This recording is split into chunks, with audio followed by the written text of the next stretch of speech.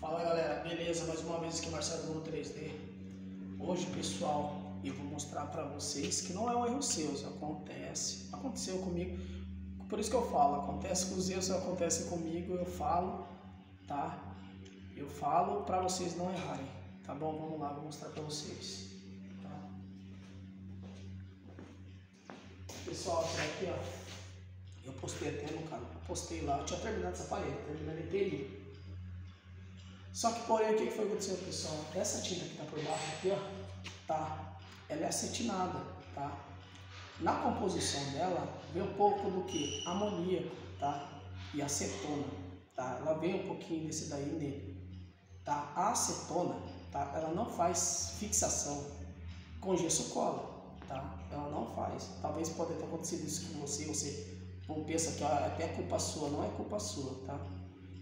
Não tem como você saber se eu vim aqui pregar uma, uma, uma peça dessa daqui hoje e voltar amanhã, ela vai estar tá presa.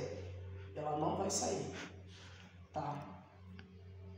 Só que se você colocar uma subsequente da outra, vai demorar uns três dias ela vai começar a desplacar. Só depois de três dias, tá? Que você vai ver se ela vai desplacar ou não. Tá?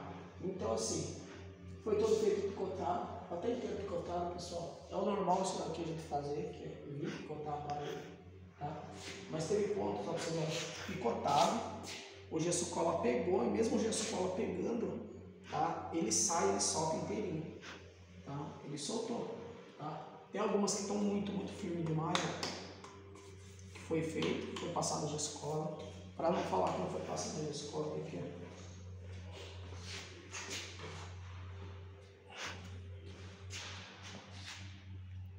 Gesso cola nos quatro lados e no meio. E mesmo passando esse daqui, ela não fixou. Tá bom? Como fez fixação nós somos uma empresa séria, tá? É assim, eu não vou deixar. Eu vou terminar de arrancar o restante. Vou dar um preparo. Qual que é o preparo, Marcelo? Pô, mas por que você não fez antes? Porque não tem como você saber, pessoal, tá? Ah, tem como se precaver? Também não, tá? Se eu passar Bianco com a C3 aqui, vai adiantar? Capaz que sim, capaz que não. Teve casa que eu passei Bianco com a C3 aqui e não deu, tá? Então, eu vou ver qual o procedimento correto que eu vou ter que fazer aqui para ela fixar, depois eu passo para vocês. E vai aguardando nós aqui para a gente mostrar para vocês nos próximos capítulos como que sai, beleza?